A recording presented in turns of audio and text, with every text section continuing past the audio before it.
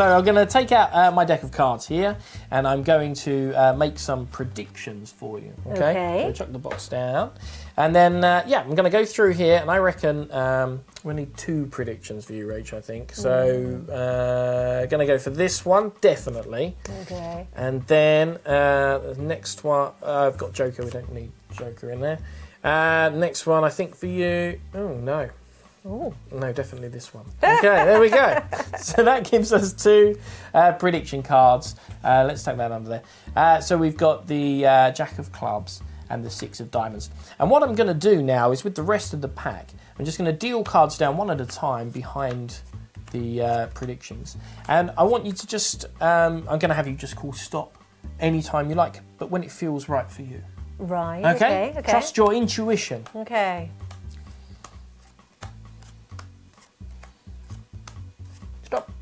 Now, did you stop for the jack or for the six? It's important. I stopped so you wouldn't put another one on the jack. Excellent. That sounds good to me. We're going to do the same thing now for the six. Just call stop anytime you like. Stop. Excellent. Okay, and we'll put the six in there. We're going to leave them face up so that we can find them again in a moment. And um, and I think we maybe we should push our luck and try the Joker as well.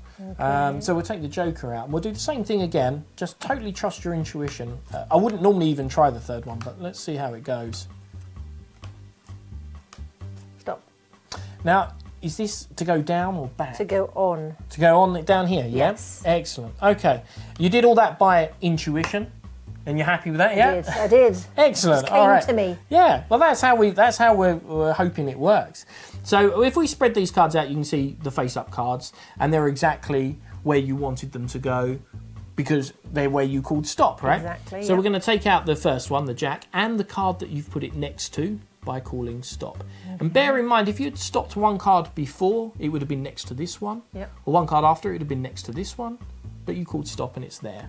So that's for the jack. We'll do the same for the six. And then we'll do the same for the joker. There we go, joker and the one it's next to. Perfect stuff.